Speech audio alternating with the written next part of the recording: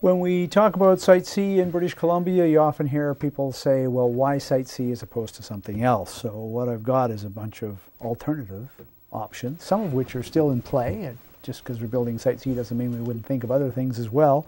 I'll just uh, run through them and we'll start with this one. This is Allison Thompson with her idea of an option to Site C. The National Truth and Reconciliation Commission recently released their results. Overwhelmingly, it was stated, it's time for reconciliation. There are two permitted geothermal projects in BC by CanGEA members. Both enjoy significant First Nations support. In one case, the First Nations are an equal equity partner. In contrast, considering there are seven court cases, five of which have been brought by First Nations against Site C, what are your thoughts about starting the construction of the dam in the next few weeks? There any uh, hope for geothermal in BC? Yeah, it's interesting. Uh, hope I, I hope that uh, geothermal does have a future in BC. You know, it's uh, it appears that uh, that the resource is there. Uh, the question is whether it can be developed and and make its way into the system.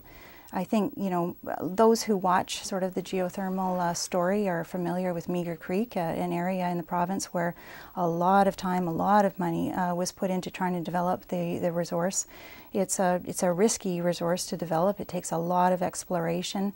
Um, it's completely eligible, you know, as a as uh, as a potential resource that could bid into the system. There's no restrictions against it. Uh, it just hasn't proven itself out as something that can actually make it in uh, to our system. You know, as you know, we have quite a diversified system. We have this large hydro back, backbone, but we've got a lot of uh, run-of-river wind. We have some solar. We've got biomass. You know, we have quite a mix in the province, and geothermal just hasn't been able to make its way uh, into a competitive position. I guess the, the, the, comment you're going to hear from people on all of that is that uh, if we weren't building Site C, we might be looking at some other options. Uh, well, we're always looking at all of the options. Uh, we have a, you know, a resource inventory. We're constantly looking at what the mix is. We have a standing offer program. Uh, there's always an opportunity uh, to, uh, to be part of the mix. Uh, geothermal simply hasn't been able to put in, they haven't put in a bid in, in the previous large power calls.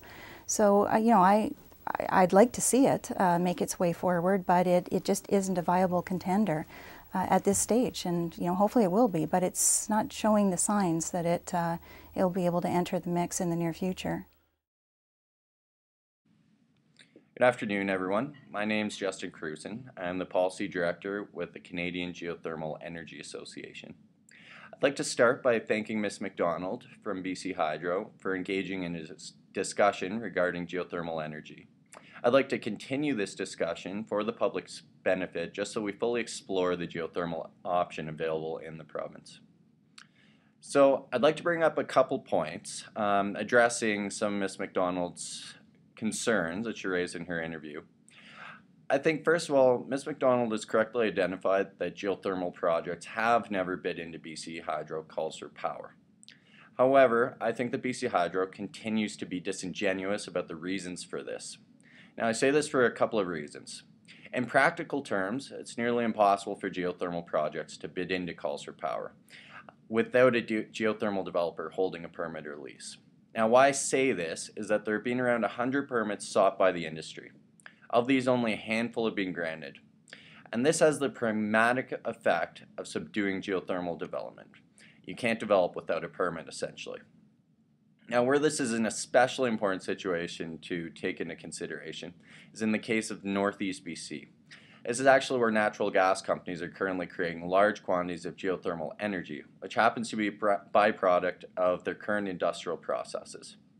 So I think this point as well also casts down Ms. McDonald's assertion that geothermal is, energy is risky and that we're already creating it in abundance in Northeast BC.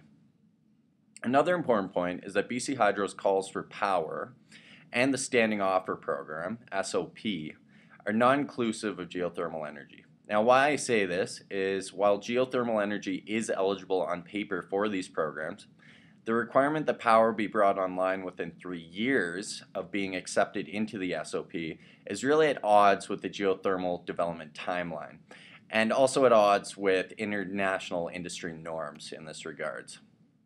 I think a final point on, on this subject is I just want to address Ms. McDonald's assertions regarding the competitiveness, competitiveness of geothermal energy projects. In BC, geothermal developers are faced with a system that does not value many of the benefits that geothermal energy brings to the table. Now, when I say this, I'm speaking to the opportunity for strategically placed geothermal power projects. And this includes some projects that are in development as we speak, which can, uh, which can address these needs. These projects have the potential to avoid extremely costly BC Hydro transmission upgrades. And uh, it provides an advantage from the fact that geothermal power plants are baseload energy sources. So basically, they're always producing power, unlike other renewable energy sources. So this increases grid stability.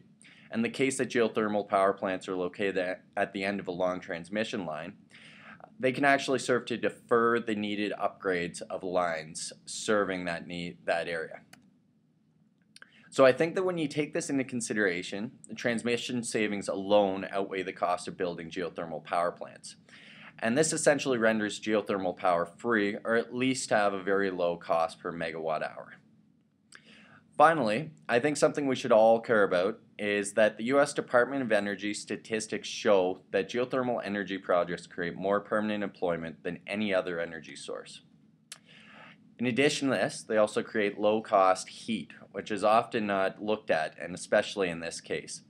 Not only can this low cost heat benefit communities, but the sale of this heat has also not been contemplated in BC Hydro's assessment of geothermal power projects.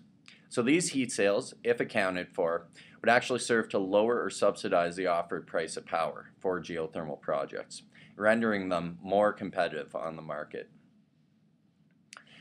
I think, though, one of the uh, most important points to consider in this whole discussion is that geothermal projects, unlike many other alternatives, they actually enjoy the support of First Nations. In fact, in one case, there is a project under development in BC that actually has a First Nation as a full equity partner. So, in closing, I urge Ms. McDonald to recognize these points, and I leave you with the fact that I contend that BC Hydro is serious about investigating the geothermal option it should uh, move to rectify some of these shortcomings. Thank you very much, and I hope that this has aided in the discussion. I, I look forward to hearing BC Hydro's response.